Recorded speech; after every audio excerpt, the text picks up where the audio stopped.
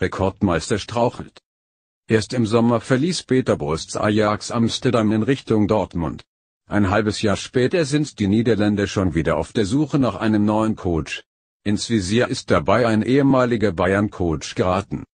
Erst scheiterte Ajax in der Champions League Quali und danach in den Europa League Playoffs.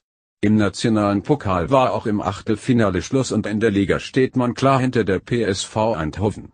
Die aktuelle Saison ist für Ajax mehr als enttäuschend verlaufen. Aus diesem Grund wurde Bosts Nachfolger Marcel Geize entlassen. Als Favorit auf den Trainerposten wird jetzt laut der niederländischen Zeitung Die Telegraaf vor allem Erik ten Hag gehandelt. Von 2015 bis 2017 war er als Trainer der U23 des FC Bayern München tätig.